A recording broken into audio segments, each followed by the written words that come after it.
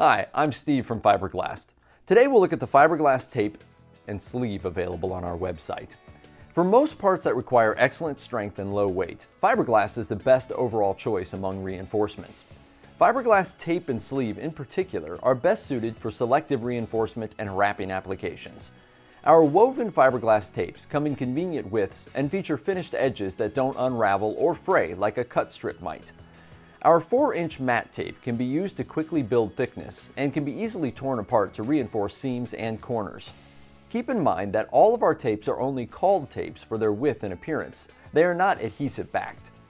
Braided sleeve is also a part of this category and is made to conform to a variety of shapes with changing geometries and can be slid over mandrels or tubes for tubing applications. Both tape and sleeve are made to be used with resin to create hard laminate parts that we often refer to as fiberglass.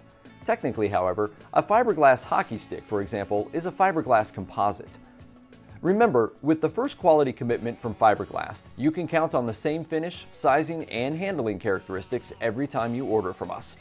Take a closer look at our tapes and sleeve at fibreglast.com. And thanks for tuning in today.